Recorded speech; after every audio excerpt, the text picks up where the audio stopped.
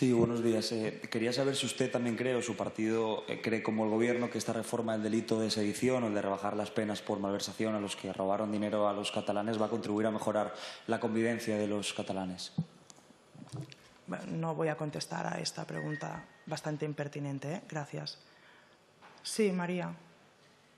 Sí, buenos días. Eh, ¿Me puede poner algún ejemplo de por qué esta reforma debilitaría la lucha de los derechos fundamentales, por favor. ¿Algún ejemplo así en concreto? ¿Cómo tienen ustedes estudiado o analizado que esta reforma eh, puede limitar esa, lucha contra los, derechos sí, claro. Mira, María, nosotros vamos a pasaros todas las enmiendas que se están haciendo desde nuestro departamento jurídico y también lo estamos haciendo con personas que no están vinculadas a partidos, pero que sí son expertos en, en temas jurídicos y y lo voy a presentar, lo vamos a presentar desde Junts eh, con el rigor que se merece, pero sí que es verdad que, que ahora los supósitos, mm, no sé cómo se llama en castellano, ¿eh? los supósitos eh, eh, que hacen que tú puedas ser condenado son mucho más amplios. El tema de la intimidación y es a, nosotros una de las cosas que nos preocupa es la ambigüedad de, de los conceptos que se incluyen nuevos.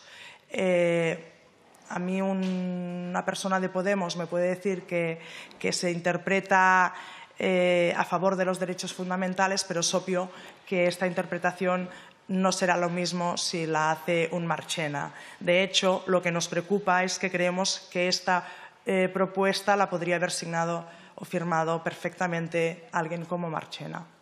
De todas maneras, os vamos a pasar cuando las tengamos, porque lo estamos trabajando eh, con el rigor que se merece, porque es un tema serio que puede cambiar muchísimo el rumbo de todo lo que está pasando en nuestro país, en Cataluña, eh, y os vamos a facilitar toda, toda esta